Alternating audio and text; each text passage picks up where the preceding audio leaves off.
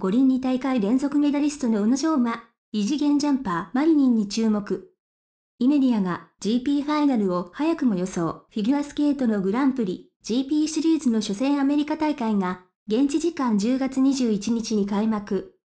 第2戦カナダ大会、第3戦フランス大会、第4戦イギリス大会、第5戦日本大会、第6戦フィンランド大会と世界各地を転戦。選手は GP ファイナル進出を狙いポイントを競い合う注目の男子シングルは日本からは北京五輪銅メダリスト宇野昌磨をはじめ友野和樹、佐藤俊、島田高志郎、山本聡太、三浦義雄、三宅星南、坪井達也の8選手がエントリーした世界一の座を争う熱き戦いを控えイタリアメディア OA スポーツは早くもファイナルに向けての展望記事を掲載した。現時点で予選大会とファイナルの優勝候補を明確に示すことは非常に困難としながらも、ビッグネームの一人、ピョンチャン五輪の銀メダリストであり、北京の銅メダリスト日本のショーマンの初優勝の最有力候補に挙げないわけにはいかない。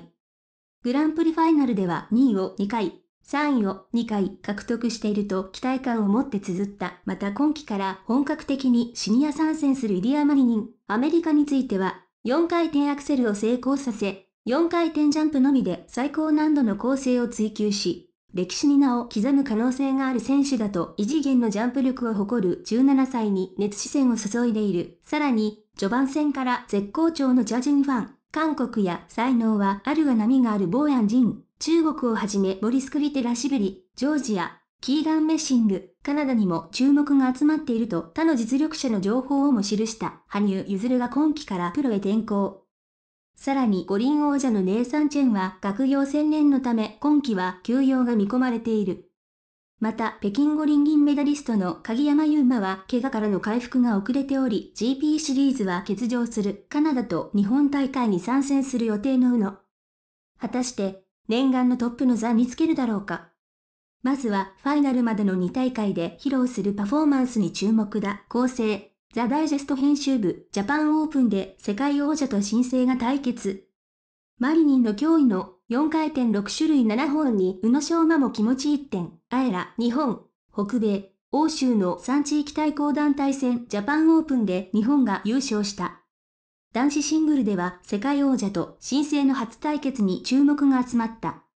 あえら2022年10月24日号の記事を紹介す、2026年ミラノコルティナダンペッツォ五輪への新たな4年がスタートした。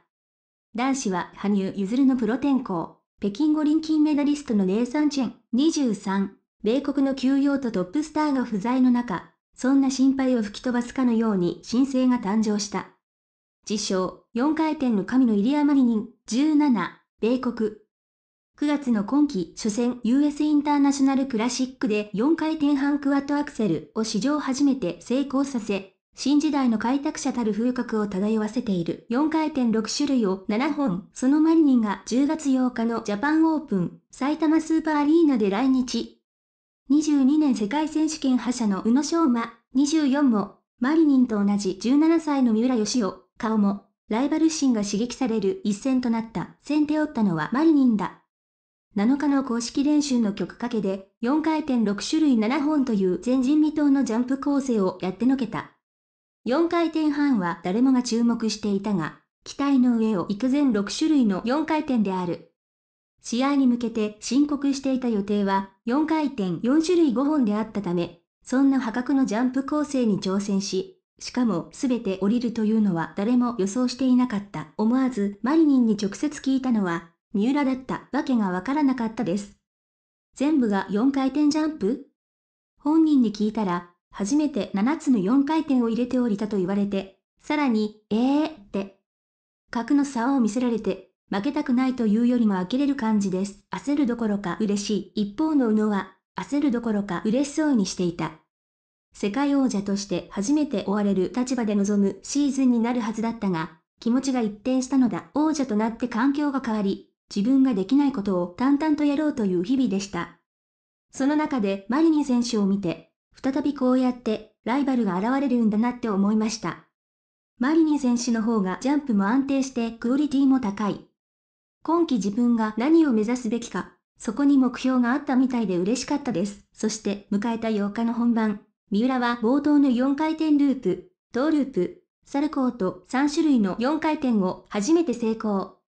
上々の出だしを見せた。後半は疲れも見せたが、美女と野獣のプログラムを力の限り滑り抜いた。169.94点で3位。演技の後半で野獣が王子に変身するような演技を目指す三浦はまだまだ、ビューティー2割、ビースト8割。